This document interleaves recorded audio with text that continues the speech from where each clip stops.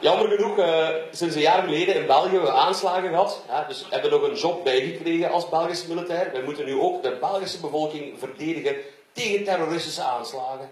Dat moeten we erbij pakken. Dus wat we dat doen, ik reis morgens om 8 uur naar Antwerpen. Ik ga in de winkelstraat staan en zeg ik... Mannen, is er een terroristische aanslag bezig? Dan zeggen die nee. Dan zeg ik, oké, dan wacht ik hier wel even.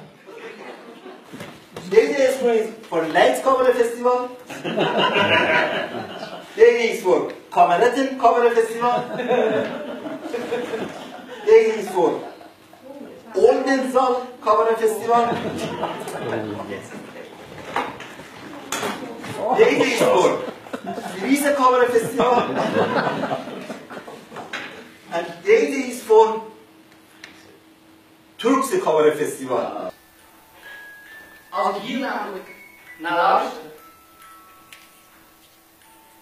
dan kom ik even echt tot rust. En dan lukt het me iets beter om het leven te relativeren.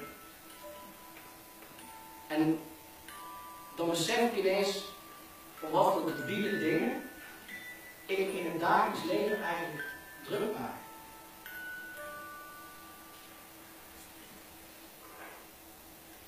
En hij zegt, oh, dat. Dan ja, dat is nog kort in de schoenenwinkel, ik heb u um, ja, nu moet ik die schoenen, ik heb nogal moeilijke voeten.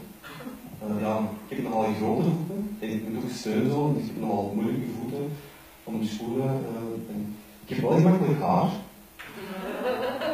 Dat is wel, uh, mensen die mij kennen, dat heb ik van wie.